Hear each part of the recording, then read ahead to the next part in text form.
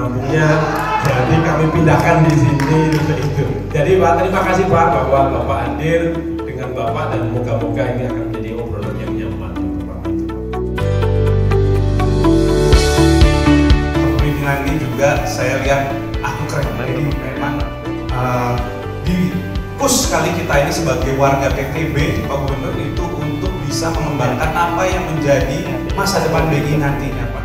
Di mana saya di sini memperoleh banyak sekali ilmu baru, memperoleh mentor yang luar biasa, program pengembangan, pelatihan dan lain-lain sehingga kompetensi saya menjadi sangat meningkat dibanding sebelumnya.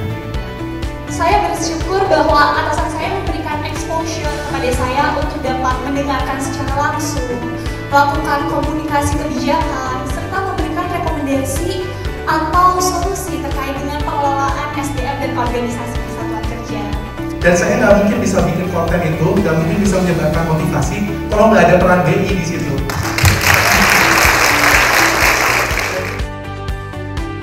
dari sekolah STM ke perguruan tinggi. Lanjut S2 dan ke S3.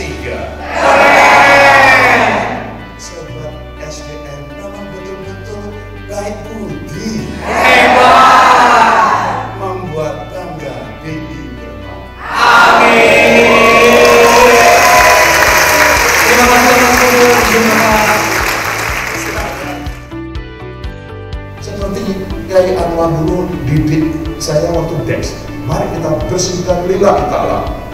Jangan pernah sekali-sekali nomor satu Anda terbesit rasa ambisi, rasa iri, apalagi dengki, apalagi membalas kesalahan dengan termasuk kalau ada ya pegawai kita yang salah dimonitor, dievaluasi, sudah membaik nggak perairan. Kalau sudah membaik baru diperbaiki.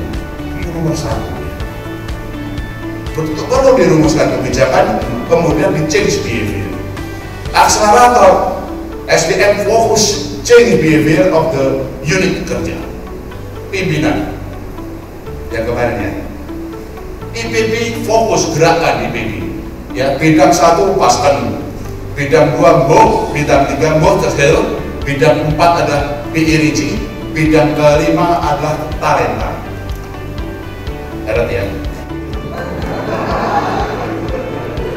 Ketua Komisi IPB DSDM bidangnya